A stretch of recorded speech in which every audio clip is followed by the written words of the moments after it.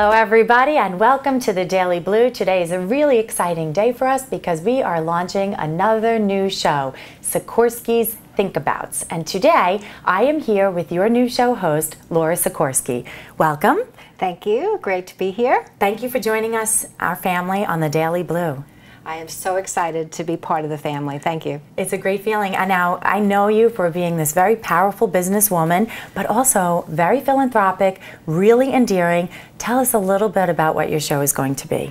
The show is a is something a concept I thought about many many many months ago, and I wanted to share. Uh, I've been in business since 1986, and wanted to share things that I've learned over the years with people just your thoughts. Just, just this is what you need to think about. This is what I suggest you look at. And so the show is going to have guests along with myself, and uh, we're going to talk about things that really concern your customers today and how we can fix it. So your audience would appeal to the business owner or somebody in the management yes. arena, so anyone that has to deal with customers? Absolutely, and it could be customers on the phone or retail stores. Right. I know many times uh, I'm talking with people and they say, you know what the thing about today is nobody smiles when you go in to see a customer. True. And you walk into the store and you, you just, you just want to feel welcome. Sure. But nobody's there to do that. Sure. And you suddenly say, well, I'm in this store and I want to spend some money, or I'm on the phone and I want to I want to spend some money or I have a problem and that other person on the end of the phone is just so drab, so boring, they really don't care. It's true. And we need to Changes think about everything. right, and we need to think about how we can fix that. Sure. And that's what the purpose really of the show is. I love it, but you know, customer service is also a part of your branding and who you are as a company, mm -hmm. and that can be anybody from the secretary to the person that's even mm -hmm. helping to pick up the garbage. If they don't have a smile on their face, right. it kind of shows what the company is about and who they mm -hmm. are. Who, who do they care about? Yeah. And also, Laura, are you going to be speaking at all about how customer service is used for social with social media? Mm-hmm, mm-hmm. Okay. A lot of different things that happen in social media. Where um, years ago, if you did something, it, you would tell eight or nine other people if you were upset. Yeah. Today, if you're upset with someone on the on due, due to an issue, uh, you reach 150,000 people in one click. Sure. And the the trauma that can happen with a company and how they can go down the tubes very quickly. Sure. If they're not having somebody watch that social media, making sure that somebody's keeping on top of what people are saying. Yeah, I love that. So now you said you started in business in 1986. Mm-hmm. Tell me a little bit about your background and who is Laura, Laura Sikorski. Well, thanks. I appreciate that. Um, I my career started actually in call centers and customer care. I worked for a limousine company, and then I worked for Hilton Hotels. Wow. And uh, for them, I designed all their reservation centers around the uh, around the globe, from a telephony and facilities design. Okay. And uh, built 800 Hiltons for them, and left. Wow. And decided that uh, they had moved to Texas, and my husband and I wanted to stay in Long Island. So we decided to um, start the business. And friends of mine said, You could consult. And I said, I don't know how to consult. Right. And so 1986 to the present, here it is, and I'm still working. So it's exciting, very exciting. So you started this what year? 1986. You did? Wow. Yeah. That's yeah. phenomenal. It is a long yeah, time. It is. And customers are, are so important in people's mm -hmm. business, but I don't know that it's always been what every business owner thinks about. Truly, and what happens is it's it's not just the customer or the customer service agent. It's the entire process right. that you a, a, company has to do, even with branding and being more customer centric than company centric. Sure. Um, I often talk about the Heinz ketchup bottle. Uh, Heinz always had the bottle that had the long neck and used to have to put the knife in to get yes. the ketchup out. Yes. Well, their new brand is the squeeze bottle that you leave upside down they were thinking customer centric. Sure. So, I, and that's what we need to focus on today. I think a lot of companies, um, you know, have not really looked at the benefit of ROI by using their employees. Right. An employee is a company's greatest asset, and I think people forget about that. Culture is extremely important in a company. Yeah. You know, thinking about what the how the employee is going to react about a new policy or a change, and that all affects how they deal with the customer. And people just do forget that. Yeah, so your focus will be on having guests in to discuss people's businesses and their view about dealing with a customer. Okay, so tell us a little bit about some of the guests that you will be having on. Well, we have Adrienne Miller, who is uh, the guest next week, and she's going to talk about upselling on the phone. I'm sure every one of us has gotten a phone call and they just continue, you have to do this, you have to buy this, and why you have to buy it. And you become threatened and just say, I really don't want to talk to you anymore, and you disconnect. Sure. She's going to talk about how you can be comfortable on the phone upselling. Then uh, the following week, you're going to interview me again, but we're going to talk about leadership in, in the contact center. How do you create people that can do that? Uh, the following week, we have a technologist who's going to come in and he's going to talk about what is happening all across our industry and how the customer uh, can bypass that horrific press one, press two. That you know, and I find that when I go to companies or I ask other people, you know, what is the most horrible thing that you dislike? Well, I can't understand somebody when I call the phone phone Yes. number, and I can't get a real live person. It's so annoying. It is, It's really, and really annoying. And I find that yes, you know, people do offshore, and they offshore because of economics. Mm-hmm. But there is a po- uh, there is something happening in the industry where we've lost 500,000 jobs in the last like four or five Wow. years, but we have almost 100,000 that have come back Right. because people are understanding that it's not cheaper to Yeah. go offshore. No, you end up losing customers. You do because people hang up the phone and go elsewhere, go to your competition. But with the press one, press two, that has just really annoyed so many people. And you know, one of my thoughts to a lot of companies, if you need to, some people want to do self-service, Sure. and some people want a live agent. Give it the option up front when somebody wants it. And so slowly people are starting to understand that people want to talk to humans. Oh, we do. I, everybody does, I think. I, sometimes I will pick up the phone to speak to my bank or a credit card, Mm-hmm. and I dial zero right away, thinking that's going to send me to uh, Right. a, a, uh, a, a real person, but it doesn't. No, no, and every industry is like that. It used to be you could press star, you could press pound, and you knew you were going to uh, get to a, a live agent. Or in you know some of the companies have that speech recognition. So what happens with them? You would just say agent, agent, agent, and then eventually you'd get to a live agent. Sure. But you know the technology is brilliant when it works right. Sure. So what we're going to do with our technologists is talk about how you could set it up so it'll work right, and your customer will be happy that they routed themselves wherever they wanted to go and Sure. got there with pain, less pain. Right. So- tell us a little bit about uh, what customers want. Okay, let's kind of kind of go through this. Customers want to do business with you on their terms. When they want, what time of the day that they want, and the method or channel that they want. So the method may be they want to talk to you or they want to email you or they want to fax you. But the new trend in the industry is that they expect the same service. Sure. Whether or not they call you or fax you, etc. The other things that I think companies need to consider today is that customer experience needs to be your primary goal. Right. Service is a product. A lot of times companies just think they have a, a, a piece of paper or a pen or whatever it is that they want Yeah. to sell, but service is what they want to sell. Again, to, to reinforce employees are your most important asset because without them you would not be in business Sure. today.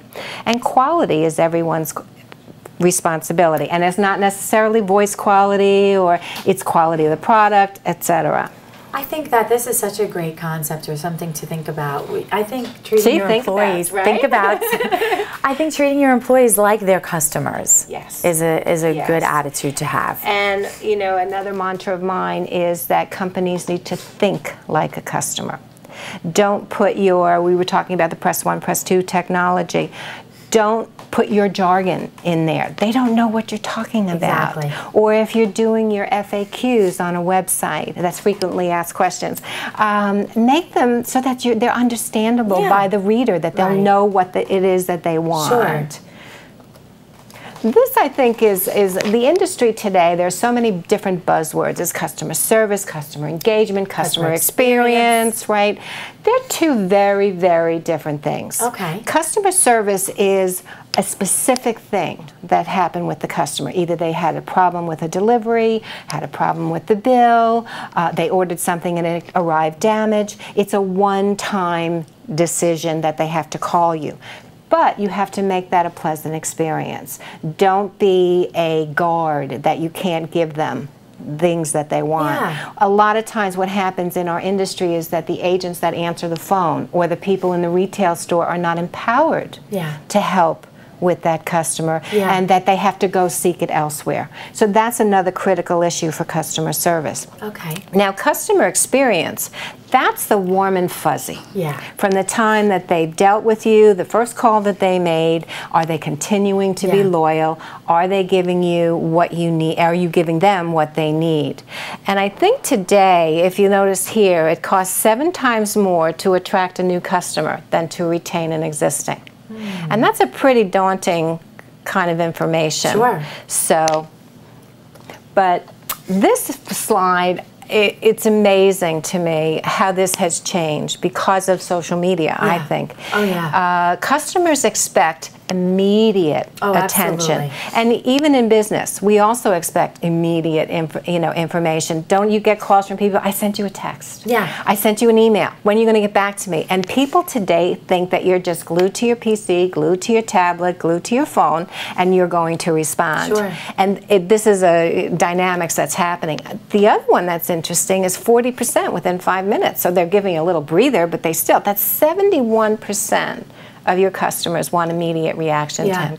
11 will wait 30%, and then 3% real, they don't care, you know. Yeah. But this within a day, this I think is extremely telling because how many of you will see on um, information on FAQs or on websites, we will get back to you with on fax or email within 24 or 48 hours. Well, Right. that's that's crazy. Yeah, nobody wants that anymore. No, they don't. They want instantaneous gratification. Sure. And so I think companies today, I think this is a very telling slide, It and they really is. need to think about their customers and how they're going to approach them on all future business. Now, do you suggest then that companies have a uh, live chat on the website or something like that to help? Because how do you combat if somebody, if you're, especially if you're a global company and you're writing at one o'clock in the morning and there's nobody working? Yeah, absolutely. I think what um, uh, I just just to finish up on the social yeah, media, but there's 150,000 people get affected by Yeah. that. Yeah. But these are the this is what's happening today in the world of technology, Okay. in the world of how customer re- customers reach you, and we call them touch points in the industry. But we also have to remember that yes, and we'll talk, we'll go through this technology, but a lot of people forget that their phone numbers on the bills. You know, I there was one customer I work with. There were seven different phone numbers on the bill, and the bill was like five Yeah. pages long, and there was one number in the front for customer service, and by the time you got to the end, there was like three or four different phone numbers just for customer service, Sure. and then for billing and et cetera. Yeah. And then, so what's happening today in the industry is yes, the telephone is the primary mm, Fo- focus Right. really on how people want to talk to you. Right. But then email, we were talking about website, email and chat. Chat is going to move up. Okay. Quite, Yeah. it's going to move up a lot. Um, you know, I personally like to chat because I like to multitask. Right. So when I chat, I know well the chat person, he's or she is probably using three or four different chat sessions. Right. I'm doing email while I'm chatting with them and so Yeah. forth. I love it because it works really it well. really does get you what you want, Sure. and then you get a printout of exactly what happened. You don't get a printout on the telephone. No, that's Although true. there was that issue with a, a cable company where they he, it was a viral message that went out, and he taped the res agent because he didn't like exactly what they were saying. Wow. But you know, it was kind of a, a, a little different take on how to do that. But you know, email. There's a that's your website. Yeah. You know, you go and you ask information. I I sent an email recently to a company and I said, I need to speak to somebody. I need to know if you have a consultant liaison program. I need to know about your product. All they did was put me on their dist- email blast oh, distribution Oh, goodness, list. really? So they're not reading. So No. this is concern. But SMS text, that's your texting. People Yeah. want to text you. Yeah. And the problem we have in the industry today is the 800 numbers, the toll free numbers.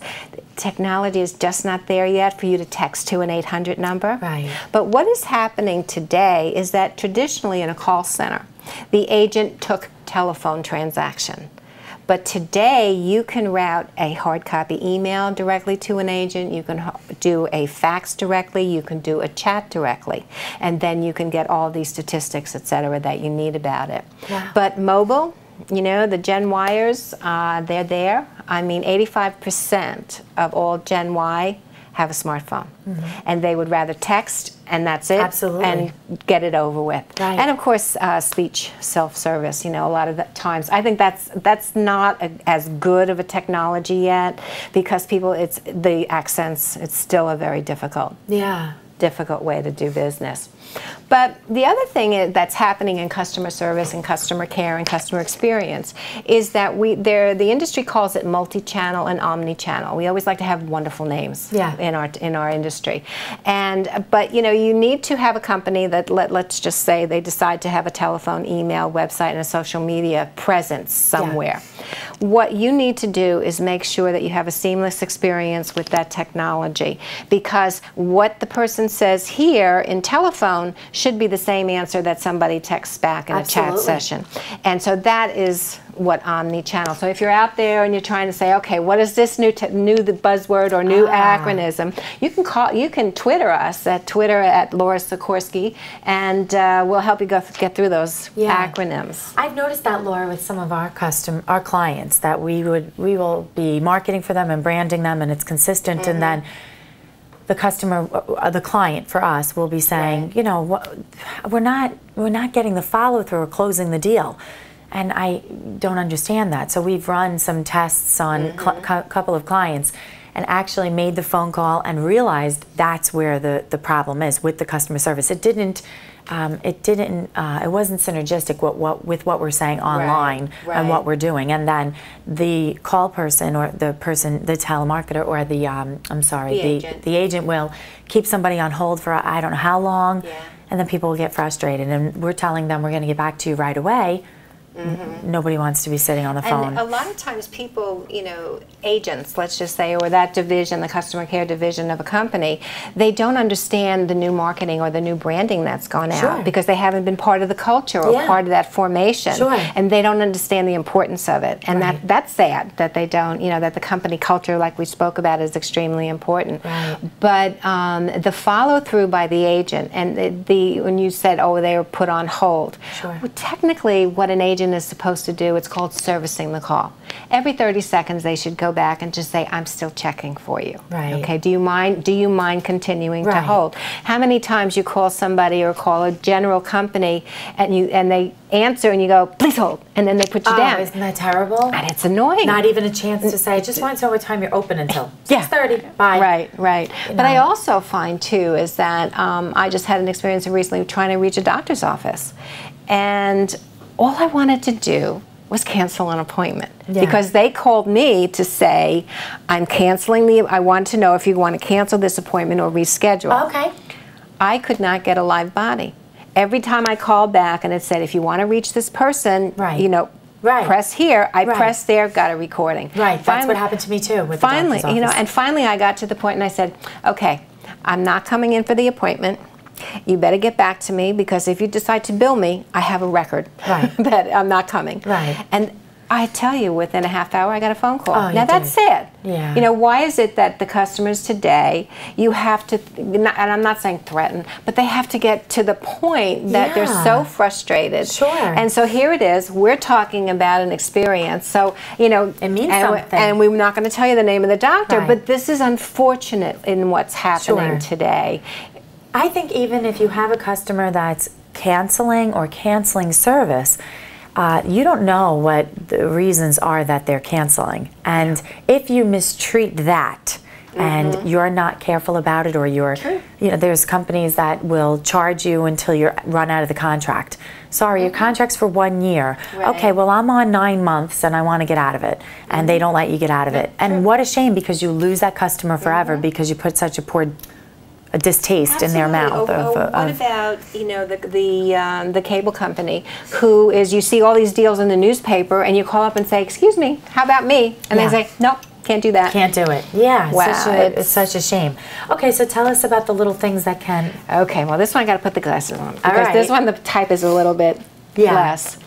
Okay, we talked about it takes time to navigate an IVR menu. Okay, um, and that's unfortunate because when you're building an IVR, and that's that press one. This is another acronym in, in our industry. Yeah. Some people build it for eight presses. Ridiculous. right Four presses, you get a sub menu, four presses, you best get your answer or you best go to a live agent. Right.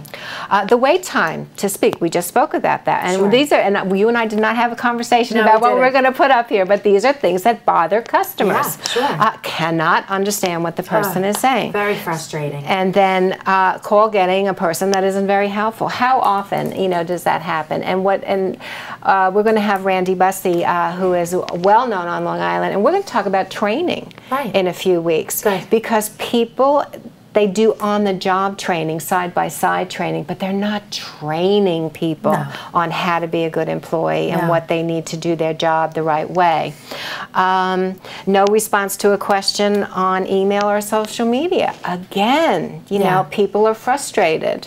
Uh, what you do not say is you're sorry. People have forgotten, I'm sorry. What a please, shame. Right, thank you. right. And those are the most important words in the in the Yeah. industry. And we just spoke about that. New customers get better deals than existing customers, and that's a uh, that's a shame because it's your the loyalty of your customers that is keeps you in business Sure. today. Just And that a- pat on your back is so nice. Uh, It is. Keeping customers and keeping them happy. Keeping them happy. And, and such a little thing can go a long way. Right. Happy customers or happy employees Right. mean happy customers. Right. So, Absolutely. and it's just a vicious cycle, and people just forget. I agree. Wow. Well, this is going to be a phenomenal show. We are really looking forward to it. Uh, I want to remind our viewers that next week, that's September 15th, uh, Laura will be having Adrian Miller on. That's the first show with a guest. Right. Looking And forward I to that. thank you so much for coming today. I think that you offered a great deal of information just for the first show. But we'll be picking up a whole lot more. And I appreciate everyone for joining us. Please stay tuned next week and every Monday, live at 11 o'clock in the morning. Sikorski Thinks Abouts. And that is going to be live. You can Yes. tweet, you can Facebook, or you can certainly call in. The number at the Daily Blu is 631 337 1603. This is Karin Caro. Thank you for joining us with our lovely new host. Welcome to the family, Laura. Thank you, and I enjoy it. Bye bye. Wonderful. Thanks, everyone.